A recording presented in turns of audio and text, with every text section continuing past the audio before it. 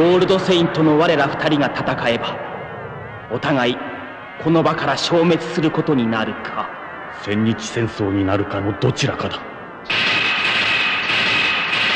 La Guerra de los Mil Días. Este término se le da a la supuesta duración de las batallas entre los Santos Dorados, los cuales se encuentran en igualdad de poder, una posición que ningún Santo Dorado quiere verse involucrado, comenzando por el hecho que son compañeros de armas. Sin embargo, y a lo largo de la historia, se han generado muchas de estas situaciones. Pero lógicamente siempre llega alguien para romper este equilibrio que los mantiene en esa situación. Fue durante la serie clásica donde seríamos testigos de una de ellas, la cual se presenta como algo increíble y con un nivel de impacto gigante, ya que para ese entonces comenzaba el arco más importante de Saint Seiya, el santuario y las doce casas.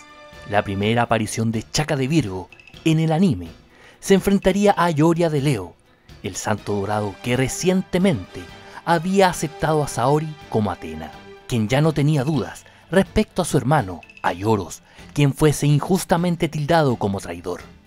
El león dorado, ante nuestros ojos, era el portador de la justicia y la verdad. Se enfrentaba al impostor, a ese patriarca falso y traidor. Es con esta carga que entra en abierta rebeldía y es detenido por Chaka. Pero, ¿cómo se dio esta batalla? ¿Qué diferencias hay entre el manga y su adaptación animada? Y es verdad que existe una postura que indica el inicio de la guerra de los mil días? Y por último, ¿quién hubiese ganado tal batalla? Comenzamos entonces analizando este suceso, investigando los datos de su producción y cómo este segmento fue contado en sus diferentes representaciones. El anime, capítulo 41, la gran batalla del santuario, la situación crítica de Atena, Santuari Daikazen, Atena, Saidai no Kiki, emitido el 8 de agosto de 1987, con la dirección de Masayuki Akahei, quien también sería el director de la cuarta película para cines de Saint Seiya, La batalla en contra de Lucifer. La dirección de animación y los diseños estuvieron a cargo del gran maestro Masahiro Naoi, quien dotaría de una imagen de gran poder a toda esta secuencia. Él trabajó también como animador en varias obras, pero destaco su trabajo en Hokuto no Ken. Quizás es un dato no tan relevante, pero es innegable que el enfrentamiento de estos dos santos dorados tuvo una fuerza en sus golpes, el peso de sus técnicas y el choque de esta que vaticinaba, por cierto, grandes batallas y enemigos terribles a enfrentar. Fue un episodio donde se da inicio al arco de las doce casas. Los santos, junto a Saori, emprenden el viaje hacia el santuario. El capítulo comienza con la conclusión del conflicto entre Shun y sus antiguos compañeros de entrenamiento. Para dar paso a la secuencia que queremos analizar el día de hoy, comenzamos viendo una imagen del santuario. Luego, vemos a Yoria, quien camina por los pasillos en dirección a la recámara del patriarca. Los guardias lo intentan detener, sin éxito.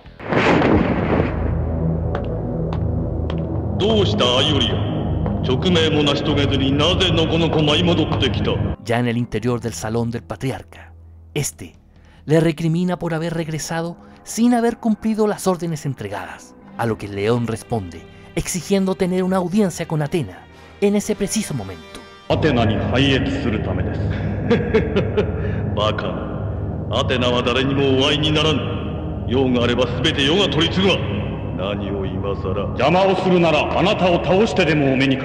Tras esto, Arles hace referencia a que es un traidor, tal como lo fue a Yoros, y es porque comparten un vínculo de sangre. Es tras esto que Ayoria le lanza toda la nueva información adquirida, la cual recibió en el capítulo 38, de nombre Choque Santos Dorados Gekitotsu Gordo Sento, emitido el 18 de julio de 1987, donde veríamos cómo el espíritu de Ayoros, por medio de Sella y la armadura de Sagitario, casi a punta de golpes, hacen entrar en razón al Santo Dorado de Leo, el cual comprende toda la situación, conoce la traición de Arles. Lógicamente para ese entonces no sabemos qué Saga. Además de todo esto, jura lealtad a Saori como Atena.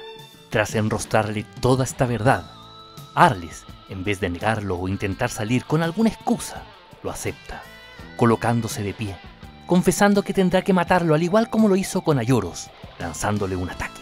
Pero este ataque tenía una particularidad. Era un golpe a la velocidad de la luz Esto sería un indicio para comenzar a sospechar de la real identidad del patriarca. Ayoria, al ver que Arles lanzaría un segundo ataque, este lo repele, usando también un golpe a la velocidad de la luz.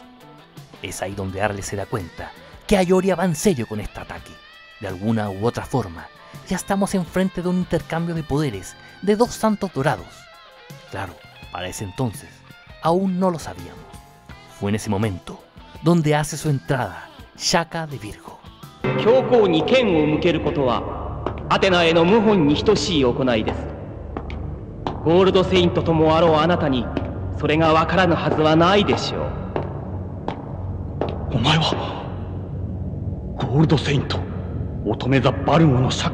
Esta situación fue de alto impacto.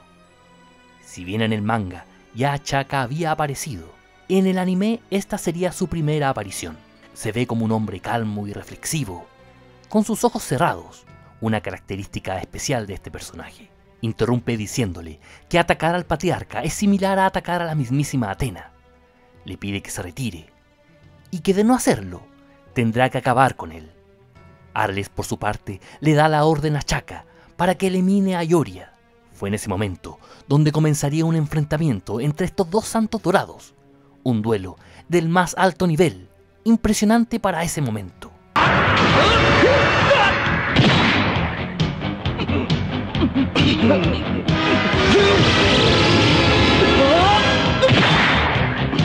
La colisión dorada comienza. La fuerza del choque de los puños se logra sentir. Metal contra metal. La tensión, potenciada por el BGM, Karei Naru Gold Saint, es una invitación de que estamos enfrente de un choque titánico. Y así era.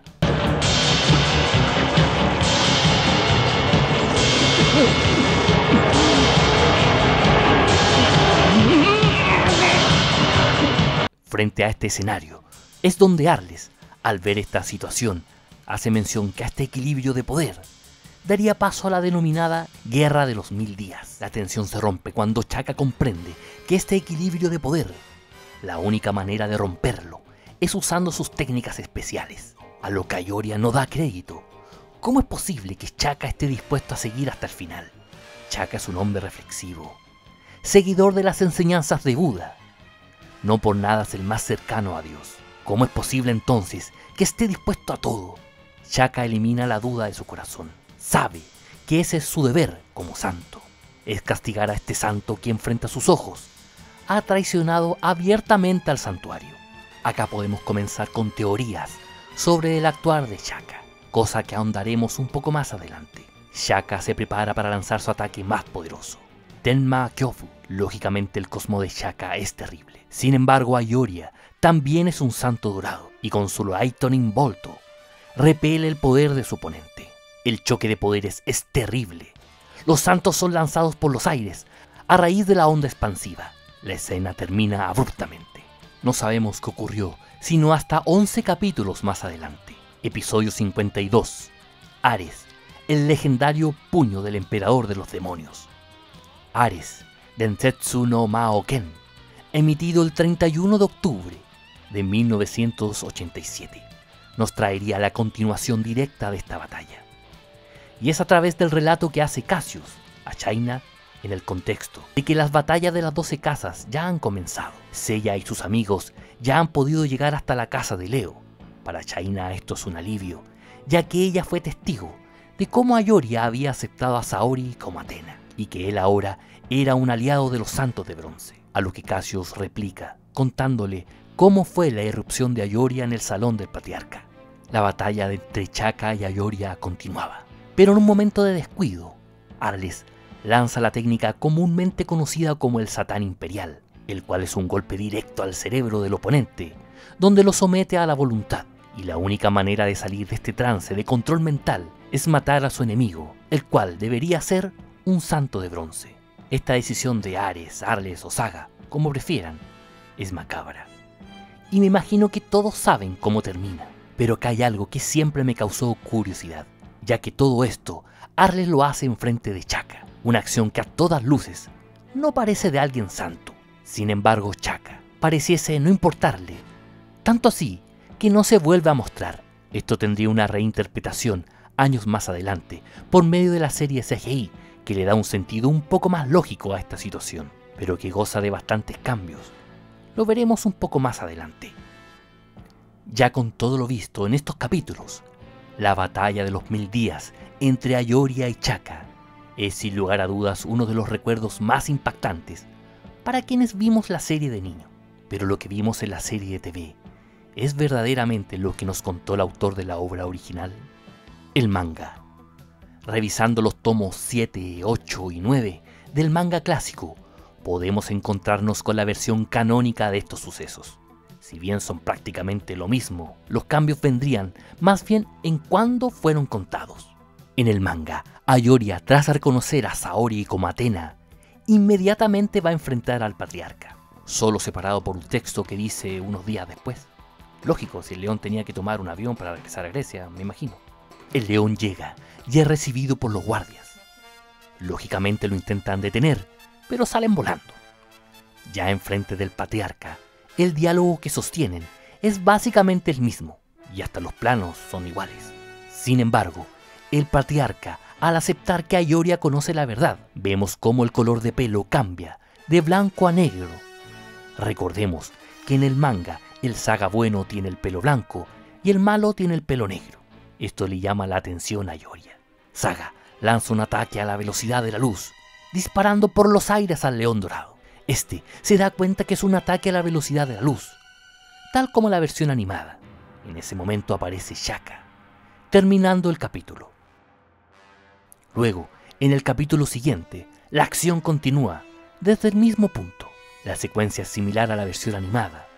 Solo en un momento, cuando los puños de los santos dorados se encuentran, Saga repararía en la posición que toman los pies tanto de Chaka como en Ayoria, lo cual lo denomina como la postura de las batallas de los mil días. La acción continúa de la misma manera, usando las técnicas especiales.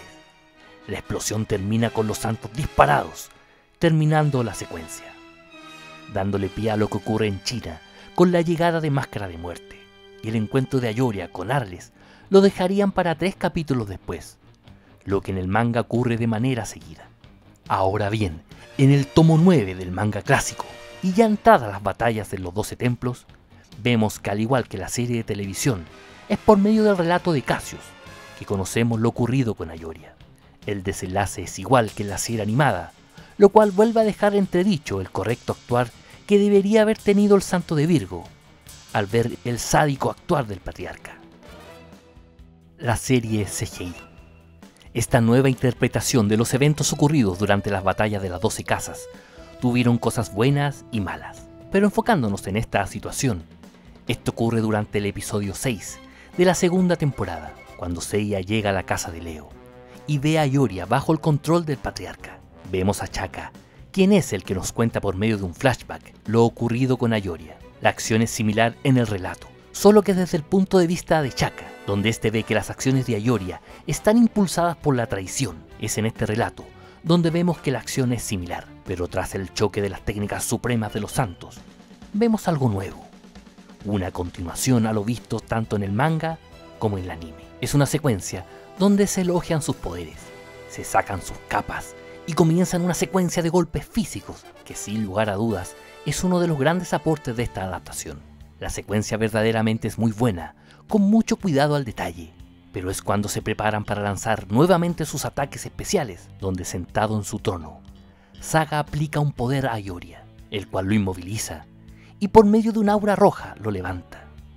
Luego, este se acerca y le aplica al Genro Maoken, comúnmente conocido como el Satán Imperial. Lo curioso acá es que Chaka efectivamente está incorporado en esta escena. Es un testigo de lo que ocurre. Y no tan solo eso.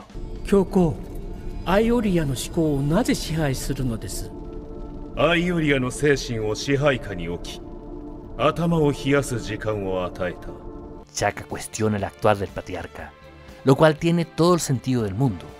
Y también cobra un sentido que Saga tenga que seguir actuando como alguien bueno enfrente de un santo dorado, dejando las reales intenciones ocultas para el santo de Virgo, dejando que éste siga creyendo que es un patriarca bueno y bondadoso.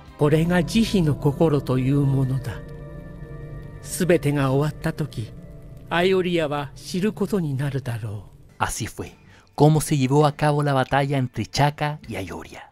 Pero como sé que todos quieren saber, ¿quién hubiese ganado esta batalla? Ayoria versus Chaka. La verdad, y por mucho que nos duela a algunos, la diferencia de poder entre Chaka y Ayoria es grande. Esto se puede determinar rápidamente viendo sus estadísticas oficiales sacadas de la enciclopedia de Saint Seiya. Acá los gráficos, donde las diferencias es prácticamente todas las estadísticas de Chaka es superior a Ayoria. Sin embargo, debemos tener cuidado con una característica que Ayoria tiene por sobre Chaka, la cual podría, en determinada situación, ser determinante a favor del león dorado. El golpe, el puño, puede ser un colmillo imbatible, con la fuerza y rapidez letal, sumado a la característica que posee Ayoria, que es de no temerle a sus enemigos. Es un tipo valiente, el cual, y tomando como ejemplo esta batalla de los mil días, si Chaka hubiese perdido la concentración, en un instante es posible que Ayoria le hubiese generado un daño mortal. Ahora bien, Chaka podría haber abierto sus ojos, liberando todo su poder contenido, cosa que no hizo. Ahí quizás, poco nada, hubiese podido lograr el bueno de Ayoria. Antes de terminar, le quiero dar las gracias a todos los miembros del canal. Su aporte es muy importante. Es genial ver cómo cada día somos más. Ahora, no quiero irme sin un pequeño recuerdo de la versión con doblaje latino. Para el video usé la versión en japonés, porque como es un análisis, es mejor para no caer en esos errores, esas locuras de nuestro querido doblaje latino. Pero ella no está en el santuario desde hace 13 años. ¡Es Ayuria! Tú también eres uno de los caballeros dorados, Shaka de Virgo. Y te convertirás en un maligno Satán. El poder satánico de Satán Imperial nunca se irá. La batalla de los mil días.